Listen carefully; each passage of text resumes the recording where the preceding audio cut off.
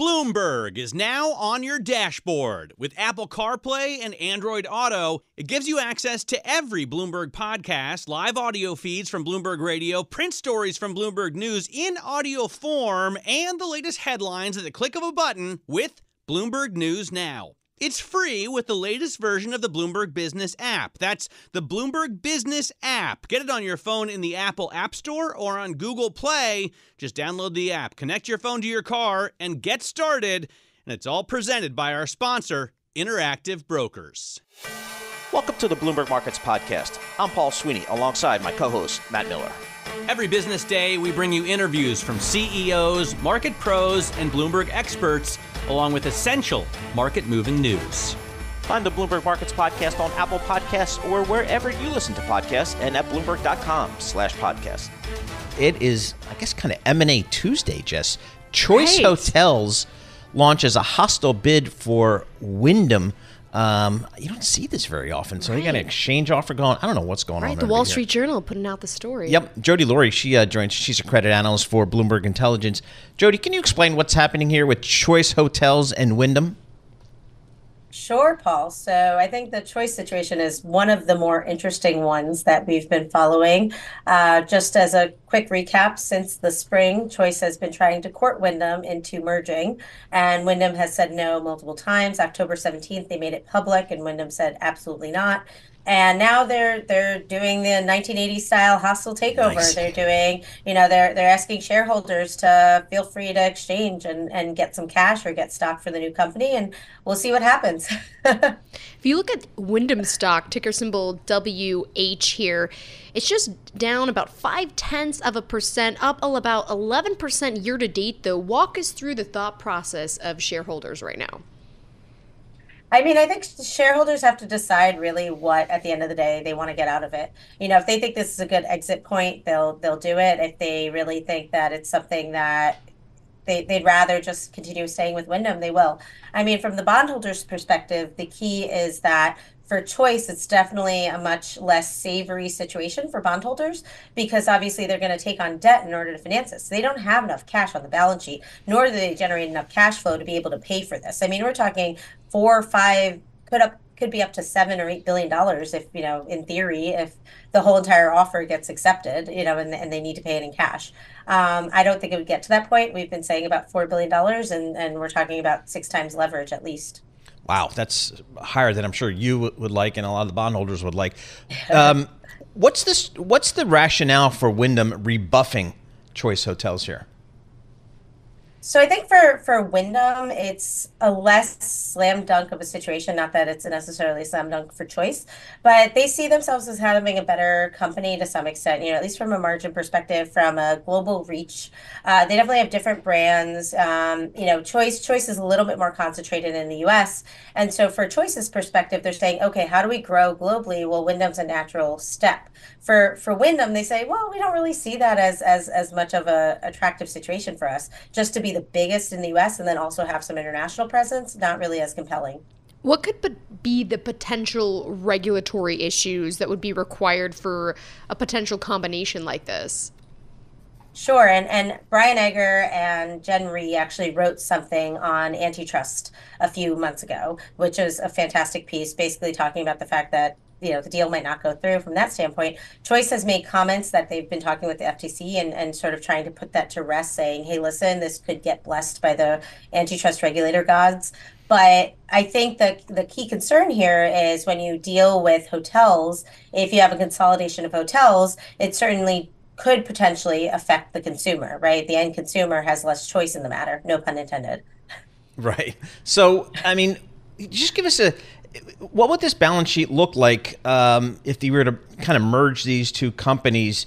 Because um, I'm just looking at it now. It looks like they're kind of three, three and a half times mm-hmm. net debt to EBITDA today. But what would it look like pro forma? And is that a problem?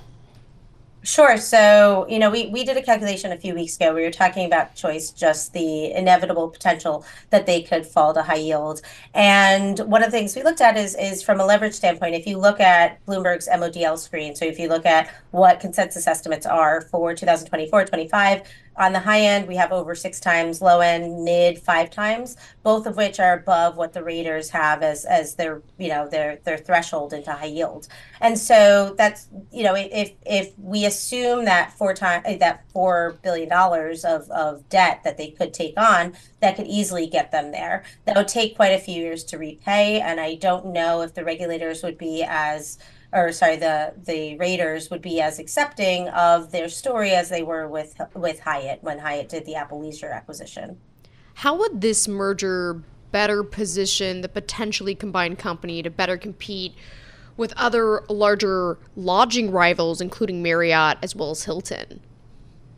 That is a great question, Jess. So I think really at the end of the day, when you think about what's going on in this mid tier, low tier, Marriott and Hilton are really expanding in big ways, both internationally as well as domestically. And they have been really just taking on 300 400 new locations easily over the next year or so and these brand new businesses that they have. And so they are they are blanketing the space and trying to really aggressively enter it. On the flip side choice has been entering the upscale and so we have been seeing that a little bit. Mid-tier upscale you know they bought radisson americas. That was a big win for them in terms of that. But i think the industry as a whole is definitely getting a bit more competitive particularly as we get to this post-covid time and consumers preferences has changed, right? Consumers are looking at Airbnbs, but they're looking at these uh, ability to be able to live in a more comfortable environment, have a kitchen if they want to, um, have a little bit more affordability in terms of what they're doing. So I think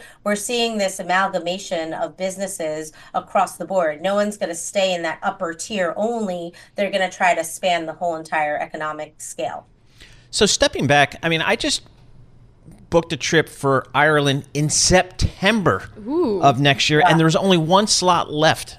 I mean, it is out of control. So, what generally speaking, we're going back to the homeland to see see, to see the peeps. um, yeah, they're they're psyched, I'm sure. Um, talk to us about the hotel business in general here. Where where are we now in kind of the recovery?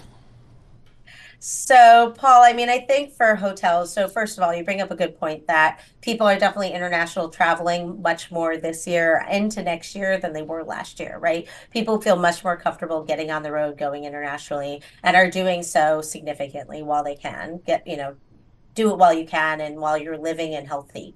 So, that said, I mean, I think for hotels, a lot of them, were affected very quickly by the pandemic, but recovered pretty quickly by the pandemic. Case in point, Marriott, Hilton, uh, Hyatt, they all levered up with their revolvers and then quickly paid them back.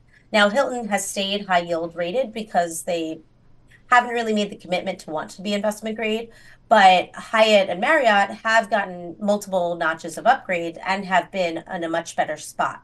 That said, there is some concern for the overall industry, particularly in the US, about financing. So these hotel companies are, you know, they're just brands. They're managing these businesses, right? Most of them are so asset light. I mean, Choice is 100% asset light, but but Marriott and Hilton and Hyatt have moved that way and are about 90 or so um, at, you know, in terms of assets that they don't own but manage.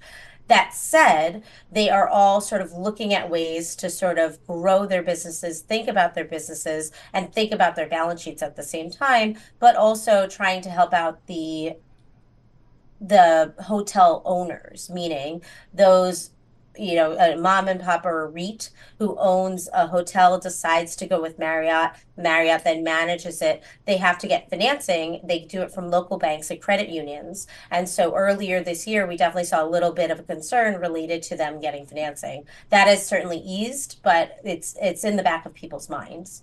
Talk to us about how much the extended stay and economy lodging competition has heated up. Yeah, so extended stay and economy lodging, certainly areas of growth these days, uh, maybe less so as we head into next year, the following year, but there is that narrative around the infrastructure bill and the fact that we'll have so many people working on projects and using these extended stays as that option. There's different types of extended stays. There's the one that are 10 days or more. And then there's the ones that are more shorter term extended stays. A lot of people like to lump them in together. Choice and Wyndham like to talk about how their extended stay is different than what Marriott and Hilton are building. But I think it's a matter of time before you have these larger companies sort of looking into those areas.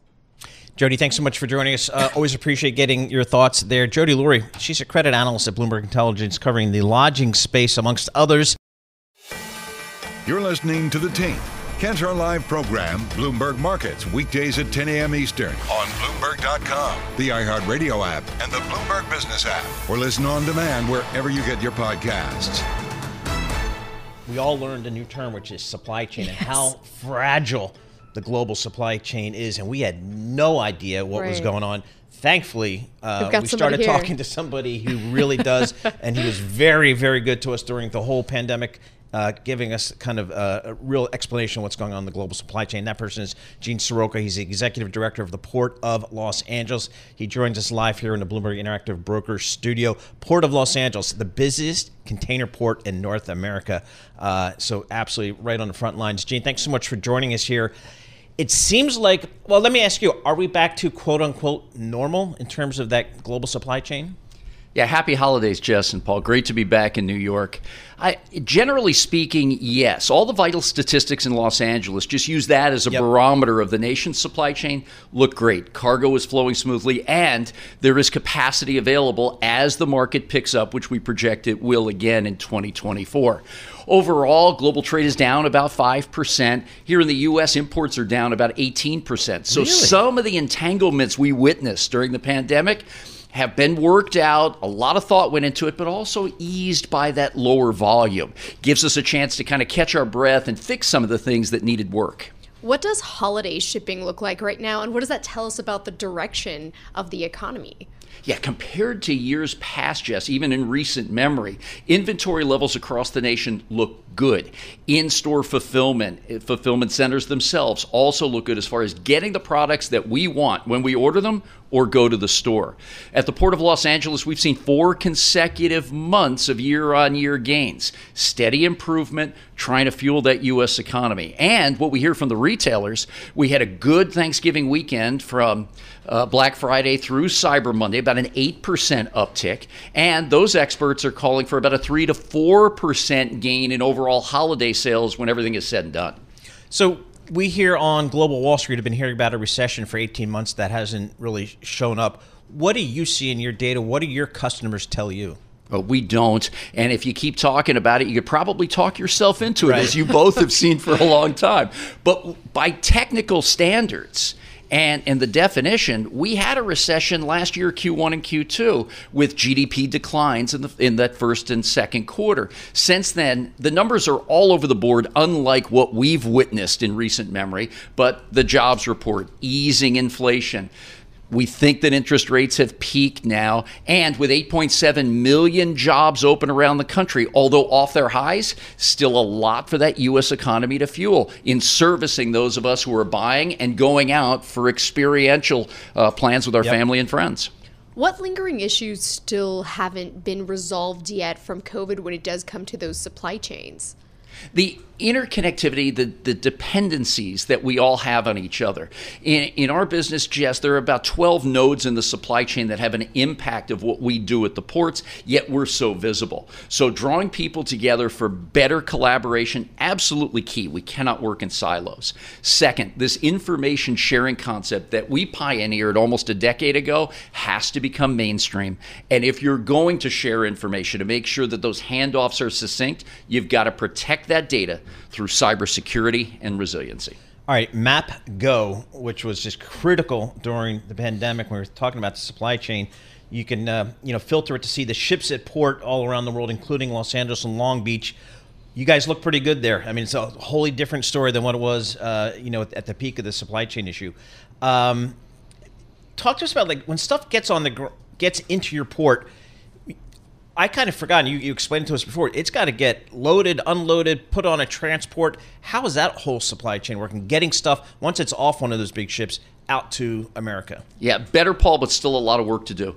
And, and if you've seen one port, you've seen one port. We're a gateway. We unload that entire vessel when it comes in, load it back up to head to Asia. Our productivity at 12,000 container units loaded on and off a vessel at Los Angeles is the best in the business today. But that cargo has to move off that terminal tarmac. And with the benefit of history, that's what slowed us down the most during COVID. Cargo was sitting at the port. Some used it as a warehouse because they were buying their goods just in case, not necessarily just in time. But all the vitals today look great. If we can get that cargo off the port property in two to four days by rail and truck, then you're really starting to see the capacity gains that we all look for. When it comes to inflation, everyone talks about obviously goods versus services. Do you have a gauge whenever it comes to shipping to tell us what exactly that looks like when it comes to the difference between those two and how that obviously impacts inflation? Yeah, big topic today, Jess supply versus demand and capacity. Right now, we've got the liner shipping companies who are based in Asia and Europe bringing in new capacity, larger ships, more fuel efficient, more clean for the environment. And those purchases were made with a cycle time of about three and a half, four years. We're starting to see that tonnage come in as global trade has moderated and in some cases declined. So you've got excess capacity, lower demand. Prices are in the favor of the American importer and exporter this coming year. So, Gene, you guys at, at, at, your port have a great view on China. So much of that trade comes into your port from China. It's a direct route. Uh, What's your view? Of, what are you seeing from China and the activity coming out of China in terms of trade? Yeah, on the business side, many of the uh, folks that we deal with are talking about a China plus one strategy, not putting all your eggs in one basket. The geopolitical issues scare a lot of people, make them nervous, but also just good business practice says, I got to be able to move my sourcing out a little bit. Similar to when I lived in China during SARS, 20 years ago. Mm-hmm. A lot of the same discussion. So we are seeing growth in Southeast and South Asia. The Port of Los Angeles, year end 2022, about 57% of all of its cargo emanated from or was destined to China. We'll close this year at about 53% of our business with China. Okay. So it's moved down a little bit, but has not fallen off a cliff like some had, had imagined. What about Europe? Europe, very small percentage. Our theater is the Trans Pacific. Second market is the west coast of South America with respect to perishable fruits and vegetables. That's really our strong point. About 3 to 4% of all the products that we move in and out emanate from Europe. More natural trade lane is across the Atlantic to the East Coast and Gulf Coast ports of the U.S. So when the West Coast ports were having some challenges with productivity, I remember you coming in here saying, some shippers were even going to take the extra cost and maybe go through the Panama Canal and go to the eastern ports like, you know, Savannah or New York or whatever, New Orleans. A, have you got that business back? Because I, we were just mentioning off air. I just saw a photo of a gazillion ships trying to get in and out of the Panama Canal because it's low water level. So Uh, that's not an option anymore, is it really? Now, issues are popping up left and right, and now we're just a little more attuned to them in the supply chain with so many eyes on the system. We completed a 13 month contract negotiation with our dock workers back in the summertime. Since that contract was ratified, we've seen about four and a half to five points of market share come back to the west coast of the U.S.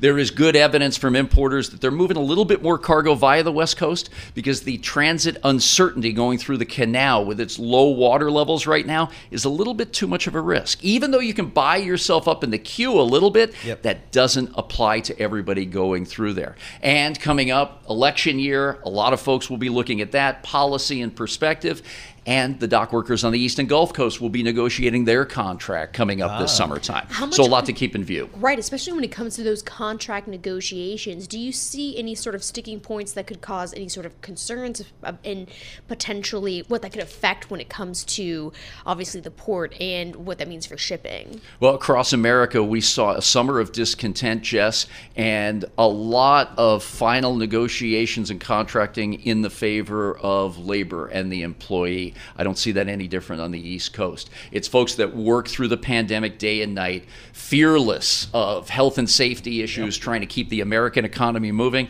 and their payday is due. Yep. 30 seconds. What brings you to New York other than New York? A couple of industry events. Wanted to talk with you all and kind of give you a layout here of what we're looking like towards the end of the year, the holiday season. And I'm optimistic about 2024. We've got a relatively early Lunar New Year, February 10th, and I see the calendar of supply chain falling a little bit more normally next year with an uptick in cargo through the Port of LA. Gene Seroka, thank you so much for joining us. We really appreciate you coming in today and during really the last several years when everybody was trying to get a handle on what the supply chain issues, what the issues were, uh, and how they were going to play out. Gene Seroka, Executive Director, Port of Los Angeles. You're listening to The Tape. Catch our live program, Bloomberg Markets, weekdays at 10 a.m. Eastern on Bloomberg Radio, the TuneIn app, Bloomberg.com, and the Bloomberg Business app. You can also listen live on Amazon Alexa from our flagship New York station. Just say, Alexa, play Bloomberg 1130.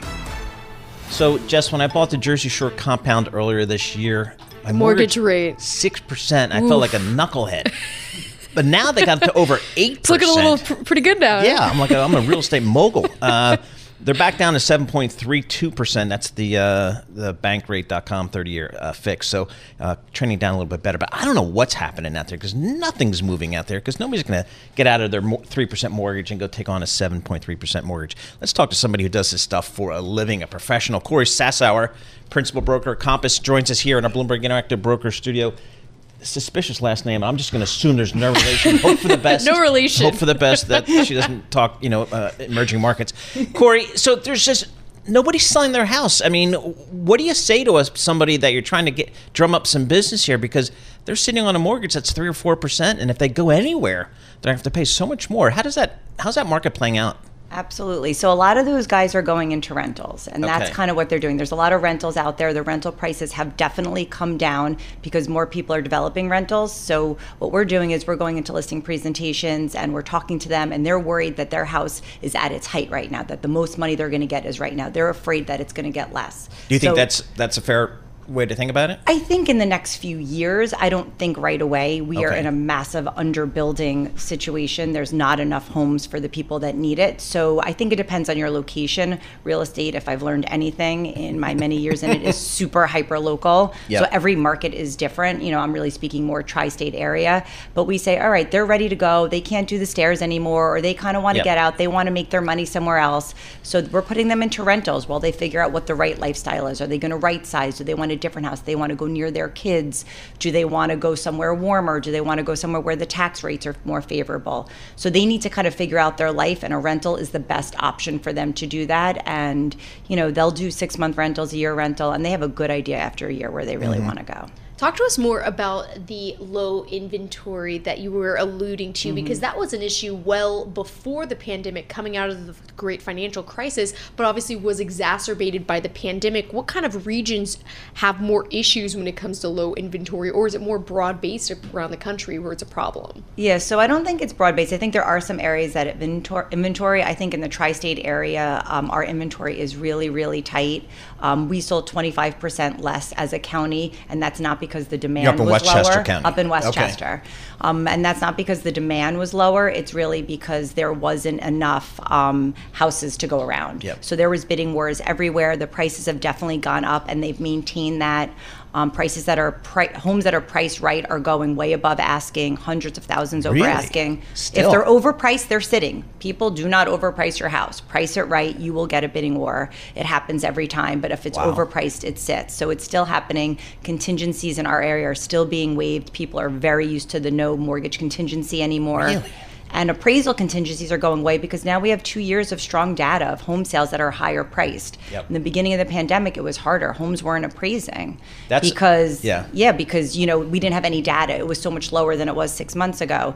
Now um, houses are really appraising, so people are willing to waive those contingencies. I'm telling my guys, get in now. When the rates start going down, there's going to be even more demand, and you can refinance um, as time goes on. A lot of the lenders are now offering one free refinance within the year that you lock into a rate. So if rates do go down a half a point, you can refinance without all the extra costs. So, is there a rate? I mean, when you sit around with your real estate buddies talking about the biz, is there a rate on the mortgage that you think will magically cause sellers to say, okay, now I'll put my house on the market if it's, I don't know if that rate, again, we're still north of 7% on the 30 year fix. Is that 6%? Is that 5%? Where Right, that, like what's some the clearing catalyst? Rate. Yeah, Right. kinda- Absolutely. Um, yeah, I think it's like five and a half. Okay. I think that's kind of the magic number. Um, the seven-year arms are at six percent now, or even a little bit lower. You Okay. can get it if you can put money into a bank. You know, they give you like a favorable discount. So there are there's a lot of lenders out there. There's a lot of people. It's a very competitive marketplace right now.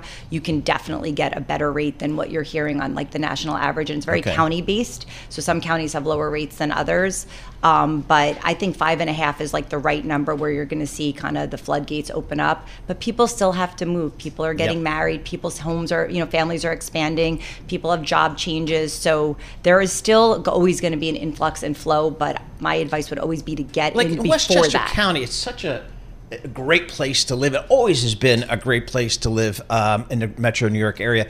Did you see a meaningful during the pandemic? I'm just going down to Florida. I'm done. I'm, s- I'm done with Westchester. I'm done with Connecticut. Mm-hmm. Yeah, Did you see that? absolutely. Anybody whose jobs who can take them where they didn't have to be in the office or they had more flexibility. People were going for a better quality of life, warmer weather, lower, you know, taxes. Yep. Yeah, a lot of people, everybody was going down to Florida. We've had a ton of people come back though. The real world has set in. You know, New York is where it's at. Sorry. That's what I was Yep. curious about. Is how have Yeah. things shifted then from when A you lot were of people- and a lot of- peak of COVID to now? Yeah, a lot of people have come back in our area, and a lot of people kind of made poor pandemic choices, and now they're kind of fixing that. So they're changing. They're not necessarily happy. They were going wherever they could get a house. One thing I'm curious about because Paul brings this up about in office, how much has that changed when people are coming back who may have left, who were called back to come in in Mm-hmm. yeah, office? it definitely changes a lot, and it changes how north people are willing to go. So you know, we had people that would be willing to commute an hour, an hour and forty-five minutes. Um, now they want to go back to the towns that are maybe thirty minutes on the train. so those, I think, there's actually, if I had a higher priced home in the more northern towns, I would be more concerned about my value than I would if I was in a more southern town, given the fact that most companies are making people come in four days a That week. sounds like a more normalized Metro New York kind of market. is. exactly. All right, so, um, but again, you're up there in Westchester. One of the, it's always been in great demand here. Um, you know, if I put a house on the market reasonably priced, how fast will it sell? Do you think? Within a week. Really? Yeah. Wow. We'll put it on the market. You know, we'll do a coming soon on a Monday. We'll make it live on Thursday. We just did this last week. We had 30 offers. It went 250 over ask, no contingencies, and it went to contract within 24 hours Who's buying of these accepted things? offer. All it depends on the price point, right? So Right. I think it's first time home buyers. It's people trying to look to move up because they kind of grew out of their house or they're maybe in an area that they, you know, want to be in a different area, better commutable area. Um, I think the dri- the first time home buyers are the drivers of the buying market and then the sellers are the downsizers or we call them right sizers. You know, they're not necessarily downsizing their house. They're just going to a house that makes more sense for their current lifestyle. So if you're a potential buyer, and we only have about 30 seconds left, what do Mm-hmm. you think are the top things they really need to be aware of right now? They need to get a pre-approval. If they can get it underwritten, I think that would be amazing. So they know exactly how much they can spend, and they should go see every house that's out there because they may not know what they like until they see enough things. They need to be ready to rock when it's time. That sounds like a seasoned real estate Right. agent. I'm ready to go. I think so. yeah, I sold my uh, the Summit place right at the beginning of the pandemic, and the salesperson, the industry, Uh huh. Didn't really have a firm grip on where the market was. Right. So I took their number, I put twenty percent on top of it, and I still got out. Still Really? came in over the top of that. Uh, it was crazy. Now I think there's a lot of comps and people have a better sense of what's going Yeah. on. Kori Sassower, principal broker, Compass, uh, up there in Westchester, talking about a market. It's still uh, very robust out there, and I can tell you, uh, same thing in Jersey. Uh, so again, good time to sell. You're listening to The Tape. Catch our live program, Bloomberg Markets, weekdays at 10 a.m. Eastern on Bloomberg Radio, the TuneIn app, Bloomberg.com, and the Bloomberg Business app. You can also listen live on Amazon Alexa from our flagship New York station. Just say, Alexa, play Bloomberg 1130. Brad Case joins us. Uh, he's Chief Economist and Director of Research at Middleburg Communities. Joins us here in our uh, Bloomberg Interactive Broker studio. Brad, you were just saying off air that you guys at Middleburg Communities have sold most of your communities, most of your assets, most of your uh, inventory. T- tell us about that decision. Yeah, we're very active developers of rental housing communities, and we've and we've been in that situation. You know, we we've been around doing that for 17 years, something like that. But 2021 and early 2022 was kind of a golden moment to be selling assets. So we sold literally everything we owned, and we are still actively developing. Um, we've got about a dozen under construction at the moment, but uh, or at least I, I think under construction.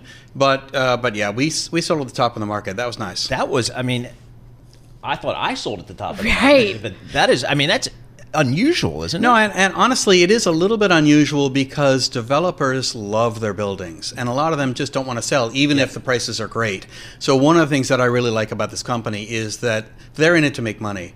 They're not in it to show off their trophies. So, what's a typical community for Middleburg communities? What's a typical type of development? So we call them middle market class A. They're not luxury. They're not high rise. They're not like located on the beach. Um, they are in sort of suburban areas of major cities in the southeastern part of the country. It'll be like uh, eight buildings um, with 250 uh, rental housing units, and some of them are multifamily. Some of them are single family, you know, build to rent, where it's not scattered site. You're not owning a house. You're you you you are renting a house within a community with the same sorts of amenities.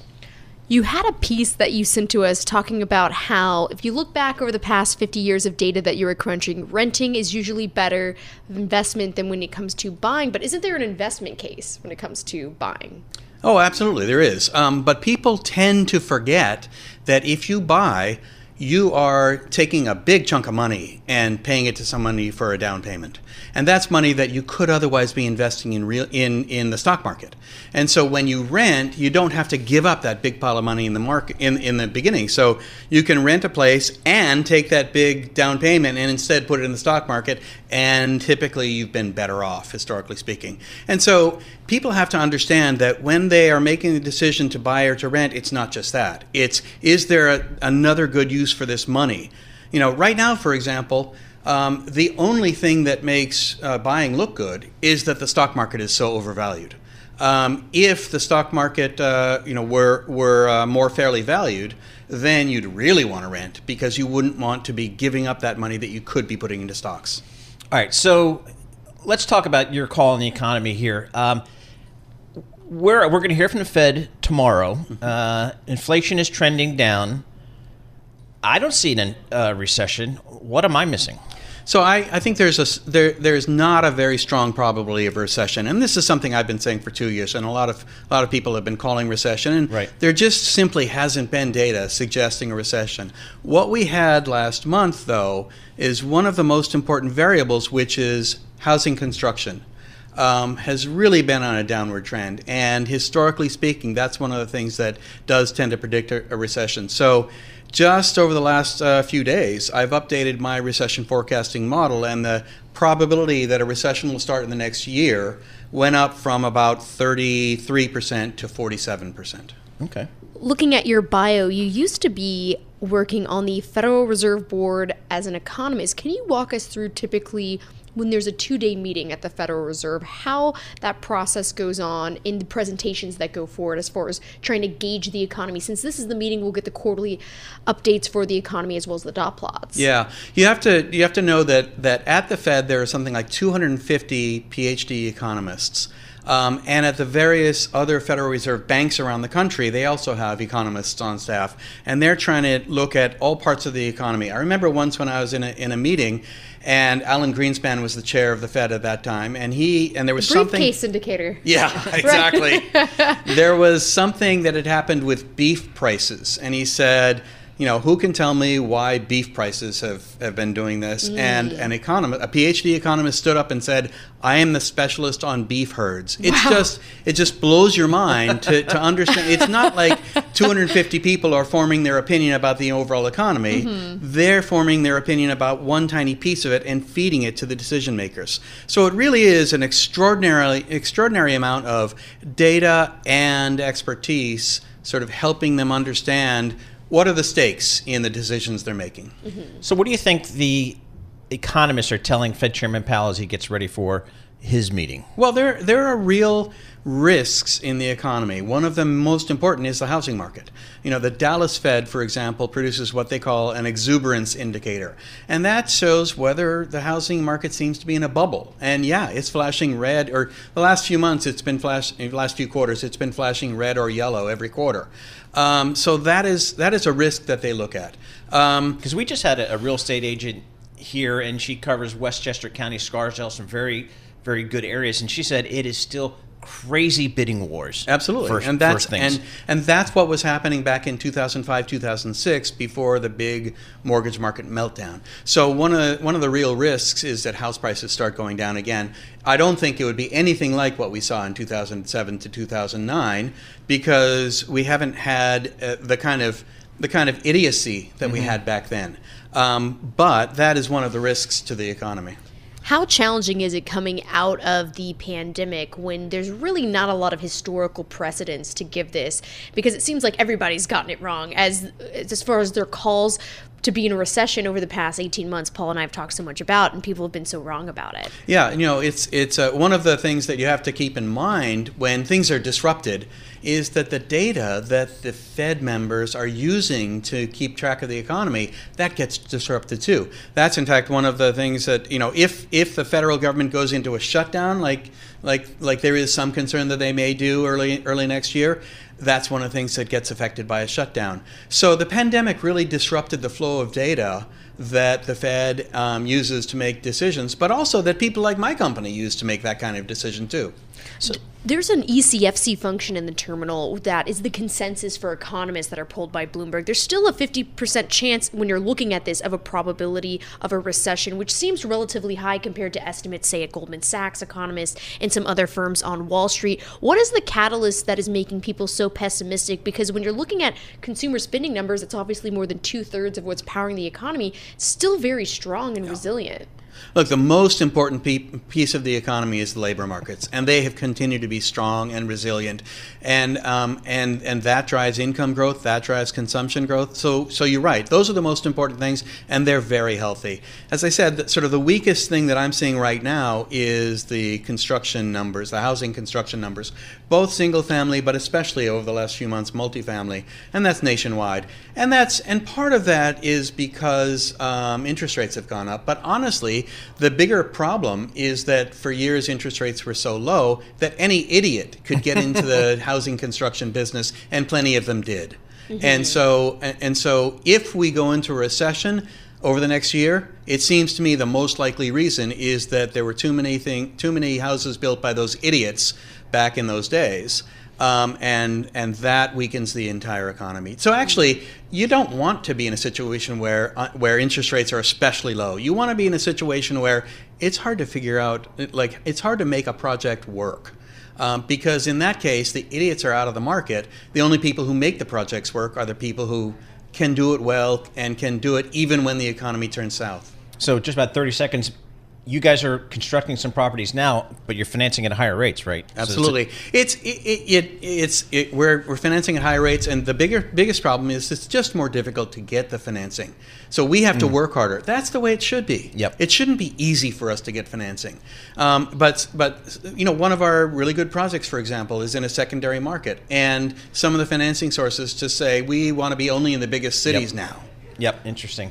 Brad Case, thanks so much for joining us. Brad Case, he's the chief economist and director of research at Middleburg Communities, and it's just a fascinating story. They were sellers in you know, 20, 21, 22, as was I. I thought I was the only smart person out there, but again, a good move there. Thanks for listening to the Bloomberg Markets Podcast. You can subscribe and listen to interviews at Apple Podcasts or whatever podcast platform you prefer.